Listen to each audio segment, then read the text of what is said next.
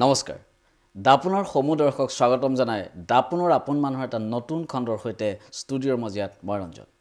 প্ৰিয় দৰ্শক আজি আমি অসমীয়া চলচ্চিত্ৰৰ মঞ্চ জগতৰ এনে এগৰাকী শিল্পীক আমন্ত্ৰণ জনাই আনিছোঁ যিগৰাকী শিল্পীৰ অভিনয়ে অসমীয়া চলচ্চিত্ৰ জগতত নিৰ্মাণ কৰিছে এক বিশাল সোধ। সেইগৰাকী মোহময়ী জনপ্ৰিয় অভিনেত্ৰী হৈছে আমাৰ সকলোৰে মৰমৰ বৰষাৰণী বিষয়া। প্ৰিয় দৰ্শক আহকচোন। পোনে পোনে শিল্পীগৰাকীৰ সৈতে আপোনালোকক পৰিচয় কৰাই দিওঁ। নমস্কাৰ। নমস্কাৰ। এতিয়া আমি জনাত বাস্তৱৰ প্ৰতিফলনে অভিনয় নহয় জানো। গতিকে মই আপোনাৰ পৰা জানিব বিচাৰিছোঁ যে বাস্তৱ আৰু কেমেৰা। দুইটাৰ মাজত আচলতে কি কি মৌলিক পাৰ্থক্য দেখা পায়? মানে ৰিল লাইফ আৰু ৰিয়েল লাইফৰ মাজত ক'ৰবাত কিবা সাদৃশ্য আছে নেকি? কয় যে ৰিয়েল লাইফৰ মানে মই যেনেকুৱা মানুহজনী ক'ৰবাত হেনো চৰিত্ৰসমূহ কৰোঁতে প্ৰতিফলিত হয়।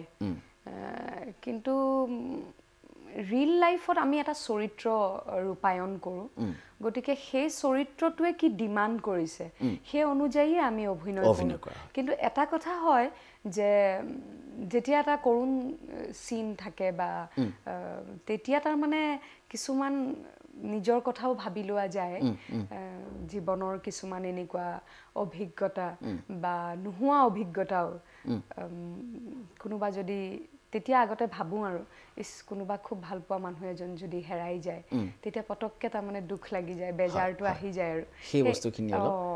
তেতিয়া অলপ তেনেকে মই কিছুমান কৰুণ চৰিত্ৰ কৰিছিলোঁ।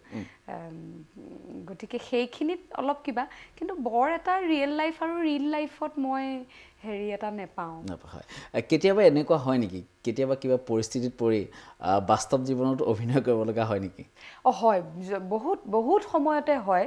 কিয়নো এতিয়া আমি চবেই অকল মই বুলিয়ে নহয় অকল অভিনেতা অভিনেত্ৰীয়ে নহয়। সকলোৰে কিছুমান এনেকুৱা কেতিয়াবা আমি কাৰোবাক লগ পাওঁ যাক হয়তো মই মনেৰে ভাল নেপাব পাৰোঁ। কিন্তু ভালকেইতো কথা পাতোঁ ভালকে কথা পাতোঁ। গতিকে মোৰ মনে বিচ- বিচৰা নাই মানুহজনৰ লগত কথা পাতিবলৈ কিন্তু মই কথা পাতিছোঁ। অঁ গতিকে সেয়াও এক অভিনয়। অভিনয় নিশ্চয়কৈ। খুবেই সুন্দৰ আপুনি। মই এইখিনিৰ ভিতৰত আপোনাক জানিব বিচাৰোঁ যে আপুনি এতিয়ালৈকে অসমীয়া চলচ্চিত্ৰত ভাল ভাল চৰিত্ৰ যথেষ্ট চৰিত্ৰত আপুনি অভিনয় কৰিলে। মই জানিব বিচাৰিম যে এনেকুৱা কিবা চৰিত্ৰ আছে নেকি? আন অভিনেতা অভিনেত্ৰী অভিনয় কৰা যিটোত চৰিত্ৰ হয়তো নিজকে কেতিয়াবা এনেকুৱা লাগে যেন ইয়াত মই অভিনয় কৰিব পৰা হ'লে ভাল লাগিলহেঁতেন অঁ এখন মোৰ লাগে তেনেকুৱা এই মৃত্যুদান বুলি এখন ছবি আছে মাধুৰী দীক্ষিতৰ অঁ। মোৰ সেই চৰিত্ৰটো খুব ভাল লাগে কিবা। অঁ, প্ৰথমতে প্ৰেম তাৰ পিছত যিটো গভীৰতা আৰু যিটো দৃঢ়তা বা ক্ষোভ বা ইণ্টেনচিটি যাক কয় সেই বস্তুটো মই এনে আগতেও বহুতে সুধিলে মই কওঁ যে মই সেই তেনেকুৱা ধৰণৰ চৰিত্ৰ কৰিব খুব মন যায়। খুব মানে পাৱাৰফুল শক্তিশালী চৰিত্ৰ। আৰু শেহতীয়াকৈ কুইনখনৰ কংগনা চৰিত্ৰটো খুব ভাল লাগে। খুবেই সুন্দৰ খুবেই সুন্দৰ। মই এইখিনিৰ ভিতৰত আৰু এটা কথা জানিম যে কোন কোন অভিনেতা অভিনেত্ৰীৰ অভিনয় আপোনাক আকৰ্ষিত কৰে মোহিত কৰে তেওঁলোকৰ পৰা অনুপ্ৰাণিত হয় আপুনি? মই বহুতৰে ভাল পাওঁ। মই অমিতাভ বচ্চনৰ অভিনয় খুব ভাল পাওঁ। মাধুৰী দীক্ষিতৰ ভাল। পাওঁ কাজলৰ ভাল পাওঁ। তাৰপিছত আমাৰ নিকুমাহীৰ অভিনয় নিকুমণি বৰুৱাৰ খুবেই ভাল actor, অভিনয় খুব natural ভাল actress। লাগে। এই কাৰণেও হ'ব পাৰে যে মই নিকুমাহীক চাই চাইয়ে ডাঙৰ হৈছোঁ। অভিনেত্ৰী হ'বলৈ শিকিছোঁ তাৰমানে এনেকুৱা মই নিজৰ আইতাৰ ঘৰত মোৰ মাৰ মাকৰ ঘৰত ডাঙৰ হোৱা ক্লাছ ফ'ৰ ফাইভ মানলৈকে। গতিকে নিকুমাহীক সেইখিনি সময়ত নিকুমাহী যথেষ্ট অভিনয় কৰি। কৰিছে আৰু। গতিকে নিকুমাহীক দেখোঁ আইনাখনৰ আগত থিয় হৈ দেখোন কিবা কিবি কথা কৈ থাকে কি কয়?